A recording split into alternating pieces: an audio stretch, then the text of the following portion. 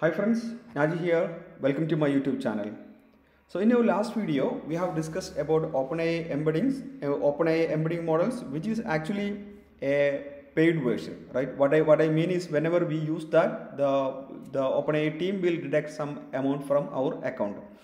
And there is another way of creating the embedding models, another way of using the embedding model that is the Hugging Face embedding models.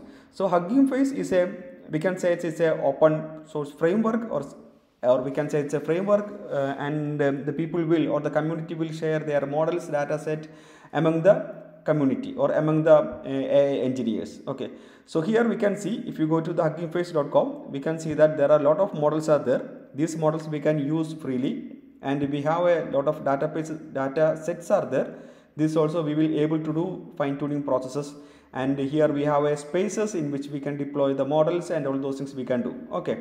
And uh, there are paid version also. We will able to have some spaces and we will able to deploy that. Okay. And it is good to have a account here. Just go and create a account so which is free. I mean we don't you don't need to pay anything on that. So the model that we are going to use is uh, all mini. So this is the model that we are going to use for the embedding instead of OpenAI embedding okay so before that we have to do some kind of a setup in our project. For that I have added a, a package in the requirement.txt file that is LangChain Hugging Face. So you guys can come and install that. Okay so pip install minus r requirement.txt okay so in my case the requirement is already satisfied. So it may take maybe like 5 to 6 seconds to complete the installation based on your network speed. Okay. And uh, once that is done what we can do we can come and import the hugging face model here. For that we can use langchain uh, somehow the autocomplete is not working. So langchain community dot embeddings. Embeddings we can import. Hugging face uh, we can have bge embeddings. Believe this will be fine. Let me execute this. Yes it's working fine. And i can create a embedding model. I can have an embedding model. This will be hugging face.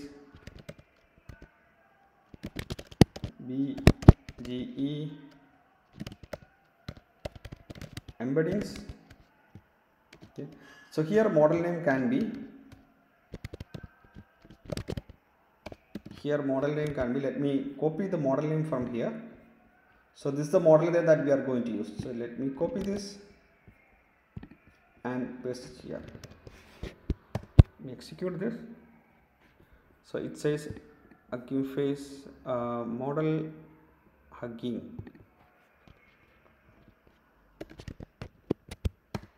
okay so now it's executing. So once it's executed what it will do it will download this particular model to our local machine. So it will take some time. So meanwhile what we can do we can complete the rest of our code. So i'm going to have a result okay?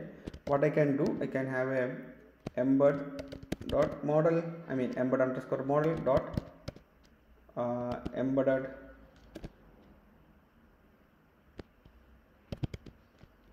underscore query and I can pass query okay this is a test application.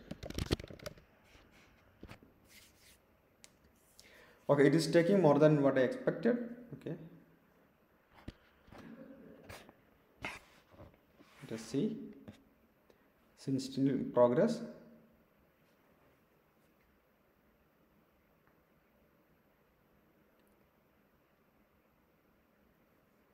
So what one good thing about LangChain is it is actually keeping the same structure with respect to all component. So if it is um, splitter, it will keep the same same same structure for all the splitters, and if it is loader, and it is keeping the uh, same methods with respect to loaders, and if it come to the Hugging Face models, it is keeping the same methods with respect to the Hugging Face models. When we discuss about OpenAI embeddings, we will be using the same methods, right? Uh, embed query. So here also we are using the same method. So it is very easy to switch between the models or understand the workflow. Okay. Okay, it is taking some time. So let me complete uh, some. Okay, so it's done. So let me execute this.